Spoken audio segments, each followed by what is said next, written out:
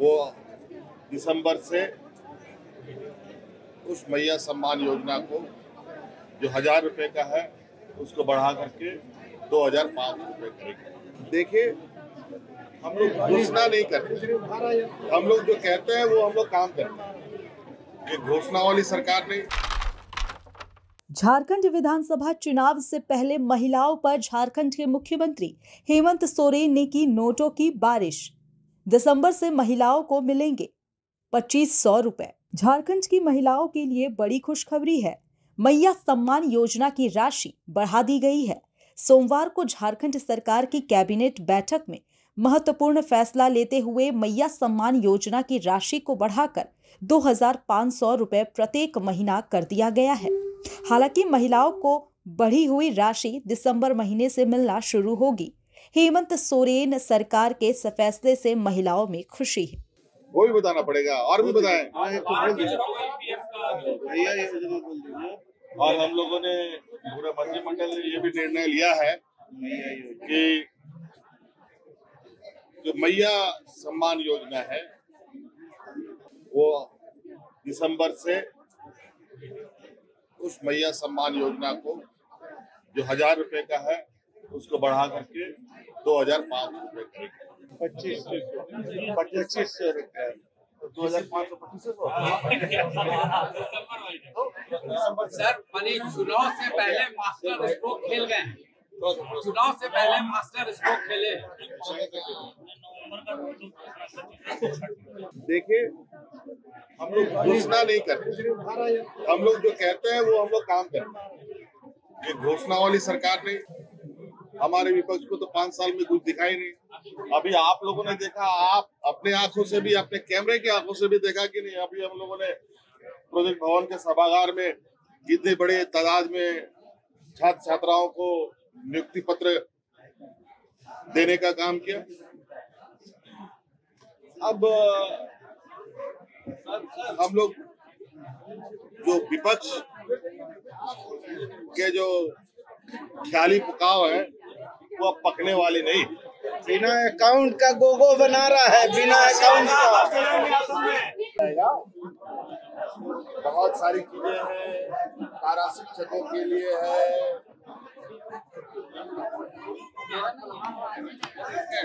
School के लिए है पॉलिटेक्निक के लिए है। कई सारे चीज़ें हैं। और इसमें एक महत्वपूर्ण पर आज चर्चा हुई है और वो है कि झारखंड के आदिवासी, मूलवासी इस देश के कई राज्यों में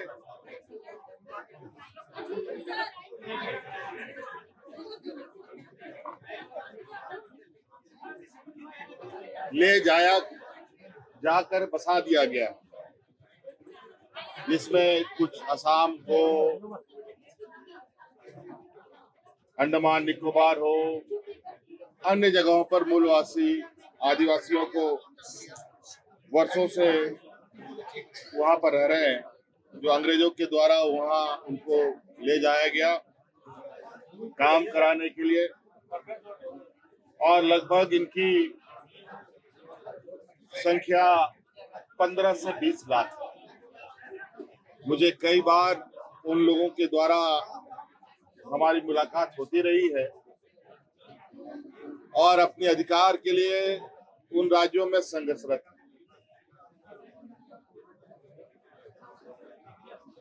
सर्वविदित है, यहाँ के आदिवासी असम के चाय बगानों में काम कर रहे हैं, वो भी एक आदिवासी समुदाय के हैं। अंडमान निकोबार में भी है, वो भी एक आदिवासी है। लेकिन उनको अभी भी वहाँ पर आदिवासी की दर्जा प्राप्त नहीं। और आदिवासी कल्याण विभाग मंत्रालय के द्वारा जो बनाया जाता योजना है, उसका भी लाभ उनको नहीं मिलता। तो इस संदर्भ पे हमारी सरकार ऐसे सभी मूलवासी को झारखंड वापस आने का न्योता देती है। और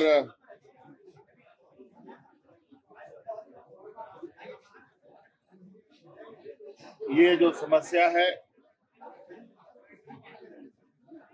इस समस्या और आवश्यकता को जानने के लिए एक समिति बनाई जाएगी।